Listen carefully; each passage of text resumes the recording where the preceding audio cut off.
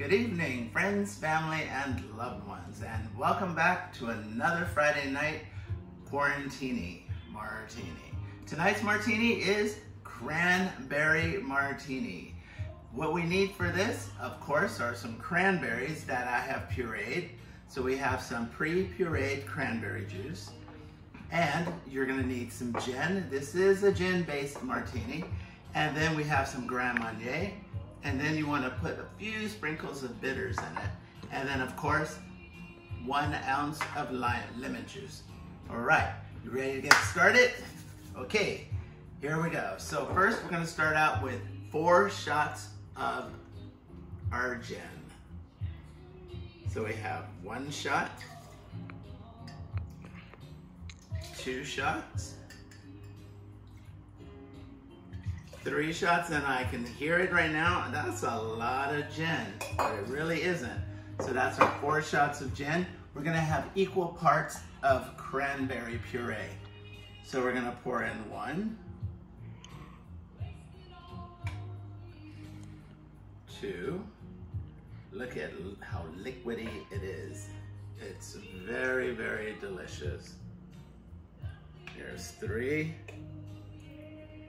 and lastly, we have our fourth shot of cranberry juice. So that's four shots, and then we're gonna put in one shot of Grand Marnier. And then we're gonna add our one ounce or one shot of lemon juice. That's pre-measured out. And then, as I said, a few shakes of bitters. All right. Go ahead, take your martini and pour it into your shaker. Cap that off. And what time is it? Shake this baby up. Sort of like the shake we had the other night. Let's slow down on that shake now. Get it nice and cold. All right, go ahead and pull your glasses over. We may only have enough for one. Look how thick and delicious that looks.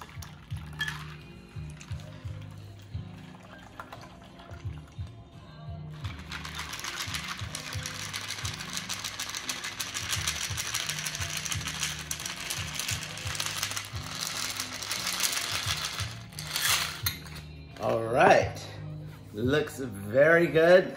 Let's go ahead and have a taste of this.